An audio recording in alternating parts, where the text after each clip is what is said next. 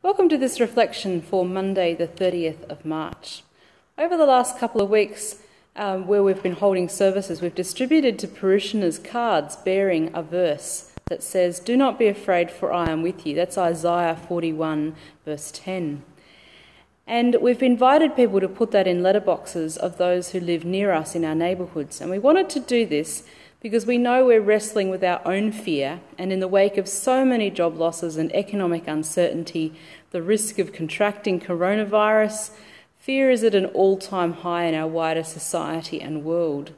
And in the midst of all of this, followers of Jesus have a powerful message to share. Do not be afraid, for I am with you. Perhaps more than ever before, the beautiful words of Psalm 23 speak to us. Though I walk through the valley of the shadow of death, I will fear no evil, for your rod and your staff comfort me. Time and again, the scriptures reassure us of God's presence right alongside us, closer than our own breath, continuing to guide and direct, even when what we're going through is terrifying and possibly even life threatening. Time and again, God's messengers speak to God's people saying, Do not fear, do not be afraid.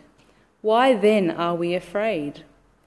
Well, fear is one of the basic instinctive human and creaturely responses to stressful and unsettling situations of rapid change. Nevertheless, we believe in a God who holds us close, a God who won't leave the lost sheep caught in the thicket, but who will cross hills and valleys in a storm to rescue the lost and the least, and then rejoice in the finding of that one. We believe in a God who hasn't abandoned this world to its fate, but who comes close to us in so many ways in the kindness of a stranger, in the beauty of a Melbourne autumn day, in the intricacy of a flower, in the quiet sense that we are not alone. We're called to put our faith in this God who is always with us and to let go of our fear. We're called to do this for our own good, but even more so for the well being of those around us. Because when we can put aside fear and live in loving faith and trust in God, we don't need to worry unduly about the future. And in a, in a society that's mad with fear, that's a powerful statement, a powerful witness to God's goodness. Because faith is also life giving, where fear, fear leads to death and despair. So in these days, cling to the promise of Scripture. Do not be afraid, for I am with you. Chew over it, cling to it.